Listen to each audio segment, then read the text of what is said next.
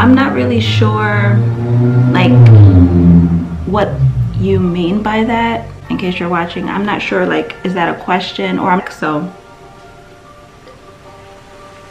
that I don't curse. I actually just cursed somebody out yesterday. Um, and if you're watching, if that person that I cursed out is watching, I just want to say I'm sorry because that was me going out of my character. Is that I'm the life of the party. I am the party. That I've never been in a fight. Are you kidding me? Like who hasn't been in a fight? They said, they said that I'm open to meeting a good Christian man. Hello guys, welcome back to another video. This video is going to be a little different. We are going to discuss your assumptions about me.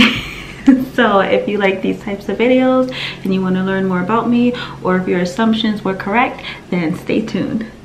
Okay guys, so I wrote down the assumptions and I'm going to answer them from you now. They did come from Instagram. Um, so yes, I got my wine. Kids are napping. So let's get started.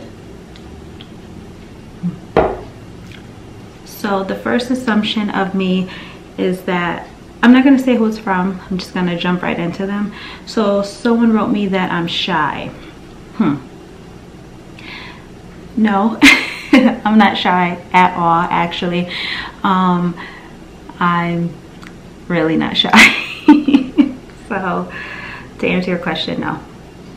The second one is that I don't curse. Okay, guys, I curse. And I curse probably more than the average person. Um, and it's not something that I'm proud of and I'm actually, you know, trying to get better at that. I actually just cursed somebody out yesterday. Um, and if you're watching, if that person that I cursed out is watching, I just want to say I'm sorry because that was me going out of my character. So, yes, I curse, unfortunately, but I'm working on it. Uh, the third one is that I'm a large. Number three is that I'm a part of a large family. And yes, that is true. I'm not close with my whole family, but I do come from a large family. Uh, number four is that I tend to put the needs of others before mine. And that is 100% true. That has been true in the past.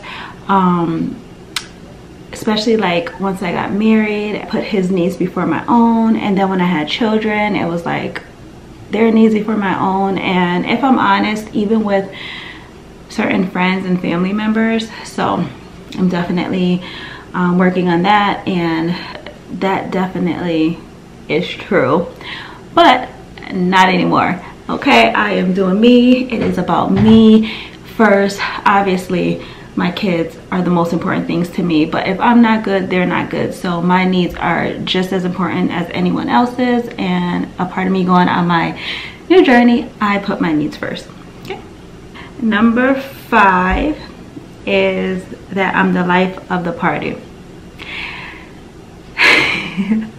that's true so like in the past, I used to go out a lot, you know, like in my single years and, you know, just being young and enjoying myself before I settled down and have kids. I used to go out to the club a lot. And every time I walked into a party, um, it was like, I am the party. I am the party and I know how to have a good time. And anyone that's ever partied with me know that for a fact. So yes, I that's a good assumption because yes. I mean nowadays you know it's a little different but i will say in the past i have been. And i mean i'm sure if i go out now it'll probably still be the same because that's just my personality. Um that i'm a good mom. This is number six that i'm a good mom. And i mean i like to think so. I get told that a lot. And i mean i really I think so. And if that's um, what you think, the person that asked the question, then thank you. I appreciate that. So, yes. Number seven is that I have a short temper. And then they went on to write that normally people with a calm demeanor like yourself tend to have a short temper. You know what? That's a very good assumption. I'm actually going to take a drink to that. Because that is 100% true. Not something that I'm proud of. I just feel like you have some people that it takes them a long time to get upset. Like they start at zero and they stay at zero and then when they go to 100, you can't bring them back down. And then you have the people with the short temper, quick temper, and that's usually me. It doesn't take a lot to anger me, but when I get my point across, I'm usually done with it. So to answer your question, yes, I have a short temper. Um, number eight is that I've never been in a fight. Are you kidding me? Like who hasn't been in a fight? You know, I mean, not even counting. Okay, so like obviously growing up, I have sisters, I have cousins, so yes, I've you know had fights with them.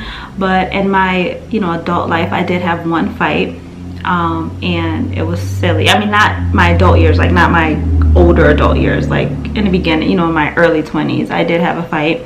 I never want to be in a fight in my adult years. I obviously am grown and mature and know how to avoid it.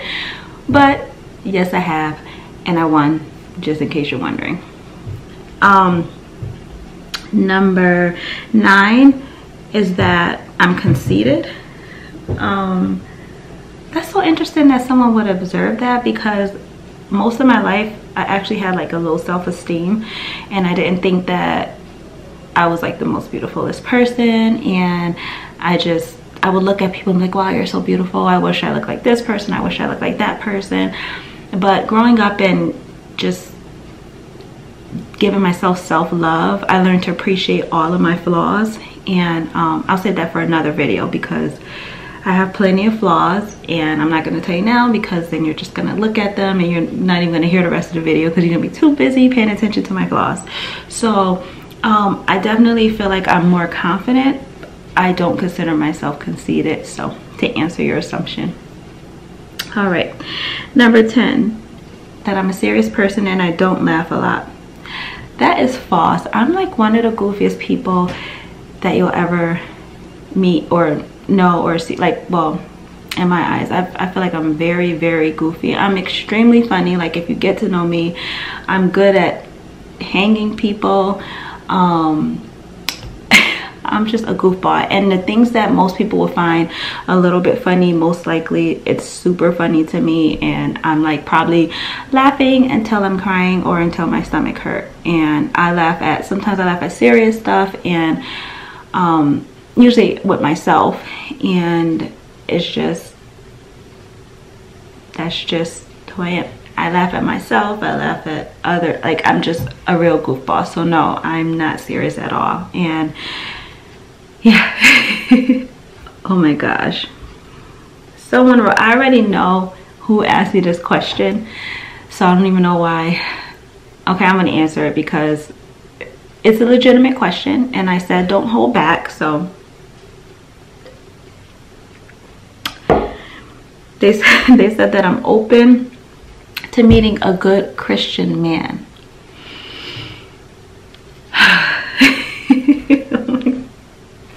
Okay. So as most of you guys know i am going through a divorce and it will be finalized in mid-march.